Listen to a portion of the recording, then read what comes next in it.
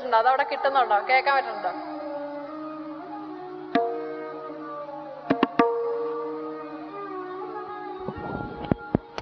അപ്പോൾ ഞാൻ ഇവിടെ പ്രസന്റ് ചെയ്യുന്ന ഒരു ചെറിയ തബല സോളോയാണ്.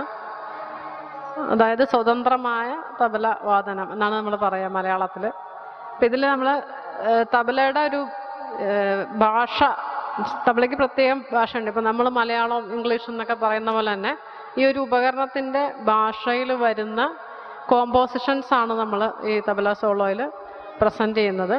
അപ്പോൾ അതിൽ ആദ്യം നമുക്ക് പെട്ടെന്ന് തന്നെ ഭയങ്കര സ്പീഡിലേക്ക് വായിക്കാൻ പറ്റില്ല. കുറച്ച് സ്ലോയിൽ വായിച്ച് വന്നിട്ടാണ് നമ്മൾ സ്പീഡ് കൂട്ടുക. അന്ന് നമ്മുടെ കൈ കുറച്ച് ഫ്രീ ആയാൽ മാത്രമേ നമുക്ക് സ്പീഡിലേക്ക് വായിക്കാൻ പറ്റുള്ളൂ. അപ്പോൾ ആദ്യം വായിക്കുന്ന ഒരു കോമ്പോസിഷൻ പേഷ്കാർ എന്ന് പറയും. അത് വളരെ സ്ലോയിലായിട്ടായിരിക്കും വായിക്കുന്നത്. അത് വായിച്ചതിന് ശേഷം സ്പീഡിലുള്ള മറ്റ് കോമ്പോസിഷൻസ് വായിക്കാം. ഇവിടെ നമുക്ക് താളം കിട്ടാൻ വേണ്ടിയിട്ട് ഞാൻ ബാക്കിംഗ് ആയിട്ടൊരു മ്യൂസിക് എന്റെ ഐപാഡിൽ ഇട്ടിട്ടുണ്ട്.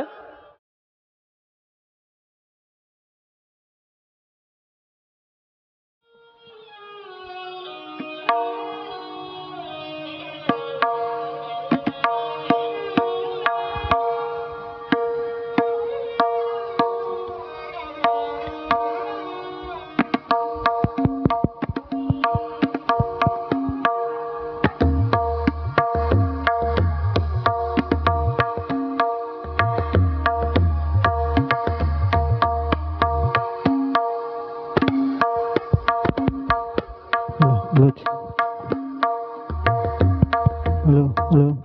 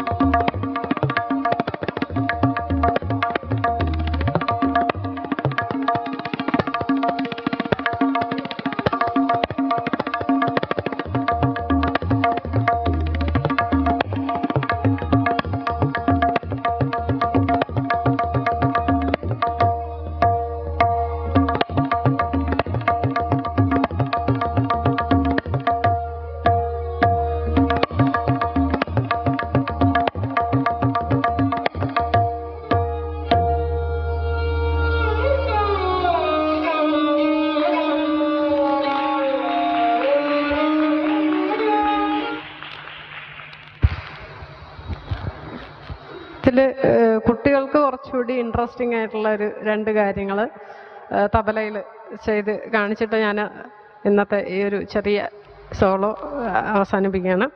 അതിൽ ആദ്യം ചെയ്യുന്ന എന്താ വെച്ചാൽ നമ്മൾ സാധാരണ ട്രെയിനിന്റെ സൗണ്ട് കേൾക്കാറുള്ളതാണ് എല്ലാവരും. ട്രെയിനിൽ യാത്ര ചെയ്യുമ്പോൾ നമ്മൾ ട്രെയിനിന്റെ സൗണ്ട് ഭയങ്കരമായിട്ട് കേൾക്കാറുണ്ട്.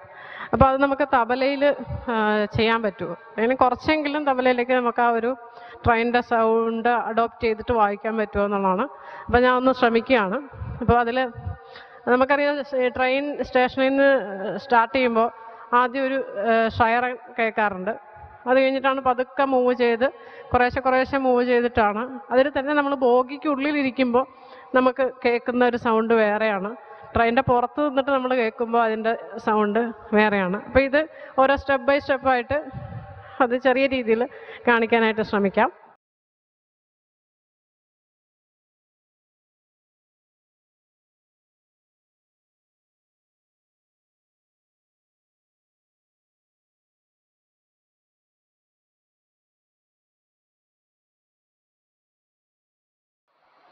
അപ്പം ആദ്യം ട്രെയിൻ സ്റ്റാർട്ട് ചെയ്യുമ്പോഴുള്ള ഷയറലിൽ നമ്മൾ തുടങ്ങാണ്.